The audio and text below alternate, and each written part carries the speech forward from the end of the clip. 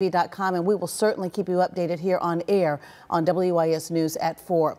We are also covering breaking news at this hour closer to home. South Carolina's U.S. House Assistant Democratic Leader, Representative James Clyburn, has just announced he's planning to step down from House Democratic leadership. Now, Clyburn emphasizes that he does still plan to run for re-election for the 6th Congressional District. Clyburn is 83 years old and has served in Congress since 1993.